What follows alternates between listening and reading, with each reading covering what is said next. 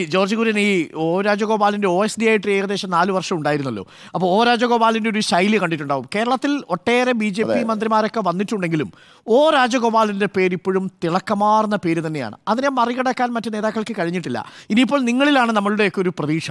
കാര്യം ഒ രാജഗോപാൽ കൊണ്ടുവന്ന അമൃത ട്രെയിനാണ് ഇപ്പോഴും ആളുകളുടെ മനസ്സിൽ ആദ്യം കിടക്കുന്നത് റെയിൽവേ മന്ത്രിയായിരിക്കുന്ന സമയത്ത്. ഒ രാജഗോപാൽ കൊണ്ടുവന്ന പദ്ധതികളാണ് ആളുകളുടെ മനസ്സിലുള്ളത്. അതുകൊണ്ടാണ് ഒ രാജഗോപാലിനോട് കേരളത്തിനോട് രാഷ്ട്രീയാതീതമായ ഒരു സ്നേഹം കൂടിയുണ്ട്. ആ ശൈലി ആയിരിക്കുമോ ശ്രീ ജോർജ് കുര്യനും ഇനി പിന്തുടരാൻ പോകുന്നത്? തീർച്ചയായിട്ടും. അതുകൊണ്ടാണല്ലോ ശിഷ്യൻ എന്ന് പറഞ്ഞത് അതായത് ഞാൻ ഒക്ടോബർ ആയിരത്തി തൊള്ളായിരത്തി തൊണ്ണൂറ്റി ഒമ്പത് ഒക്ടോബറിലാണ് അദ്ദേഹത്തിന്റെ കൂടെ ആ പാർട്ടി വിട്ടതാണ്. പാർട്ടിയാണ് തീരുമാനിച്ചത്. അപ്പോൾ അവിടെ ചെന്ന് പറയുന്ന അവസരത്തിൽ അദ്ദേഹം പറഞ്ഞൊരു കാര്യമുണ്ട്. അത് എപ്പോഴും ഞാൻ ഓർക്കും. അദ്ദേഹം പറഞ്ഞു ഞാൻ ഭരണഘടനയുടെ അടിസ്ഥാനത്തിൽ സത്യപ്രതിജ്ഞ ചെയ്ത ഒരു മന്ത്രിയാണിപ്പോൾ. അതുകൊണ്ട് നിങ്ങളുടെ എനിക്കൊരു ഓഫീസിന്റെ ഫുൾ ചാർജായിരുന്നു നിങ്ങളുടെ അടുത്ത് വരുന്ന ആളിന്റെ രാഷ്ട്രീയം നിങ്ങൾ ചിന്തിക്കാൻ പാടില്ല. അതുപോലെ തന്നെ ജാതി മതം അങ്ങനെയുള്ള ഒന്നും ചിന്തിക്കാൻ പാടില്ല. നിങ്ങളുടെ മുമ്പിൽ വരുന്ന ഫയലിലെ കാര്യങ്ങൾ ജെന്യുവനാണോ? ഈ വ്യക്തി കൊണ്ടുവരുന്ന കാര്യം ജെന്യുവനാണോ എന്ന് മാത്രമേ നിങ്ങൾ ചിന്തിക്കാവുള്ളൂ.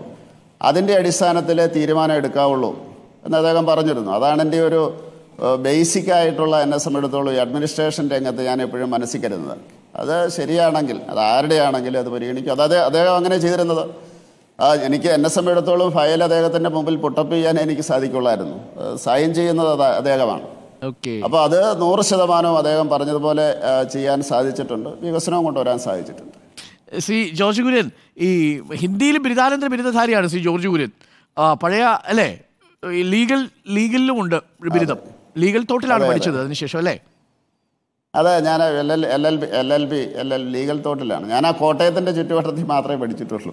ഓക്കെ. അപ്പോൾ പഴയ ഹിന്ദിയൊക്കെ ഇനി പൊടിതട്ടി എടുക്കേണ്ടി വരും. ധാരാളം ഓഫീസർമാരും ഈ പൊതുജനങ്ങളുമായിട്ട് നോർത്ത് ഇന്ത്യയിൽ പോയി സംസർഗം കൂടുമല്ലോ സ്വാഭാവികമായും. വകുപ്പിനെ കുറിച്ച് എന്തെങ്കിലും സൂചനകൾ കിട്ടിയോ ശ്രീ ജോർജ് കുര്യൻ? അങ്ങനെ പറയില്ലെന്ന് എനിക്കറിയാം. എങ്കിലും എന്തെങ്കിലും സൂചനകൾ? ഇല്ല ഇല്ല. ഇല്ല ഇല്ല. കാത്തിരിക്കുകയാണ്.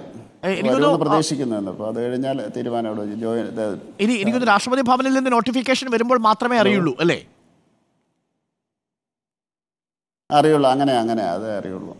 ഏത് വകുപ്പായാലും സന്തോഷം. ഇത് പ്രേക്ഷകർക്ക് ഇതിൽ ഈ സത്യപ്രതിജ്ഞയൊക്കെ കണ്ടുവരുമ്പോൾ ഒരു സംശയം തോന്നി കാണും. എന്നാലും സത്യപ്രതിജ്ഞയ്ക്ക് ശേഷം നിങ്ങൾ എവിടെയാണ് താമസിച്ചിട്ടുണ്ടാവുക? എവിടെ എന്തായിരിക്കും? കാര്യം മന്ത്രിയായി കഴിഞ്ഞല്ലോ. സത്യപ്രതിജ്ഞ ചെയ്ത് കഴിയുമ്പോൾ സ്വാഭാവികമായും അതിനുശേഷം എന്താണ് സംഭവിച്ചതെന്ന് കൂടി ജോജി കുര്യൻ ഒന്ന് പറഞ്ഞാൽ നന്നായിരിക്കും. കാര്യം ഇത് കണ്ടുകൊണ്ടിരിക്കുന്ന പ്രേക്ഷകർക്ക് അവിടെ നടക്കുന്ന പരിപാടികൾ എന്തൊക്കെയാണെന്ന് കണ്ടു. നമ്മൾ ഇന്നലെ തുടർച്ചയായി കൊടുത്തു ഏറ്റവും കൂടുതൽ പ്രേക്ഷകർ റിപ്പോർട്ടറിലൂടെയാണ് അത് കണ്ടതും. ശ്രീ ജോജി ജോർജ് കുര്യൻ അതിനുശേഷം എന്താണ് സംഭവിച്ചത്? പിന്നീട് പ്രധാനമന്ത്രിയായിട്ടൊക്കെ സംസാരിച്ചു സത്യപ്രതിജ്ഞയ്ക്ക് ശേഷം?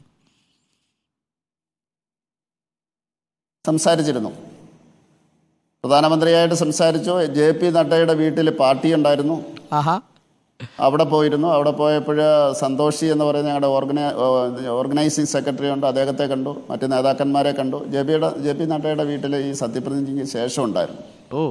ഇന്നലെ പി എം ഹൗസിൽ പോകുന്നിടം വരെയും ഈ പി എം ഹൗസിൽ പോകുന്നിടം വരെയും ഞാൻ പാർട്ടിയുടെ ഒരു നേതാവുമായിട്ട് ബന്ധപ്പെട്ടിരുന്നില്ല. ഞാൻ പി എം ഹൗസിലേക്ക് പോയത് ഒരു ടാക്സി പിടിച്ചാണ്. ഒരു നേതാവും. അതായത് എനിക്ക് കിട്ടിയ പാർട്ടിയുടെ വോളണ്ടിയർ ഡയറക്ഷൻ അതായിരുന്നു. അപ്പോൾ അതുകൊണ്ട് ഞാൻ ആരോടും പറഞ്ഞില്ല. ഒരു നേതാവിനോടും പറഞ്ഞില്ല. ആരോടും പറഞ്ഞില്ല. ഞാൻ പി എം ഹൗസിലേക്ക് ടാക്സി പിടിച്ചാണ് പോയത്.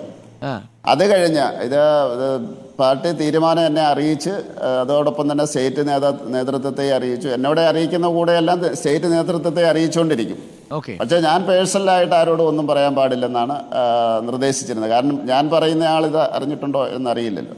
അതിനുശേഷം ഞാൻ പറഞ്ഞത് വി മുരളീധരന്റെ വീട്ടിലേക്കാണ്. അതാ അതാ ഞാൻ പറഞ്ഞത് ഈ പാർട്ടിയിൽ ഗ്രൂപ്പ് ഉണ്ടെന്ന് പറഞ്ഞ് ആരെങ്കിലും വിശ്വസിക്കും. അദ്ദേഹം ഇന്നലെ വരെ മന്ത്രിയായിരുന്നു. ഇന്ന് ഇന്നലെ ഞാൻ മന്ത്രിയായി. ഞാൻ അദ്ദേഹത്തിന്റെ വീട്ടിലാണ് താമസിക്കുന്നത്. അദ്ദേഹത്തിന്റെ വീട്ടിലിരുന്നുകൊണ്ടാണ് ഇപ്പോൾ ഞാനിത് തരുന്നത്. ഇപ്പോൾ അങ്ങനെയുള്ള ഒരു ഈഗോ ഞാനൊരിക്കലും ഒരു നേതാവിന്റെ അടുത്ത് ഞാൻ ഇത്രയും പറഞ്ഞ നേതാക്കന്മാരുടെ കൂടെ ഞാൻ പ്രവർത്തിച്ചിട്ടുള്ളതാണ്. എനിക്ക് അങ്ങനെ ഫീൽ ചെയ്തിട്ടില്ല. ഓക്കെ അതുകൊണ്ട് ഞാൻ വി മുരളീധരന്റെ വീട്ടിലാണ് ഇന്നലെ കിടന്നത്. ഇന്ന് ചാനലുകളെ എല്ലാം കണ്ടത് അദ്ദേഹത്തിന്റെ വീട്ടിൽ എനിക്ക് വീട് കിട്ടാൻ താമസം എടുക്കുമല്ലോ. അപ്പോൾ അദ്ദേഹം ഒഴിയുന്നിടം വരെയും ഈ. രാജ്യസഭ വഴിയാണല്ലോ സ്വാഭാവികമായി അങ്ങ് വരിക. രാജസ്ഥാനിൽ നിന്നായിരിക്കുമോ അങ്ങേ പരിഗണിക്കാൻ സാധ്യതയുള്ളത്? അതിന് എന്തെങ്കിലും സൂചനകൾ കിട്ടിയിരുന്നോ ശ്രീ ജോർജ് കുര്യൻ?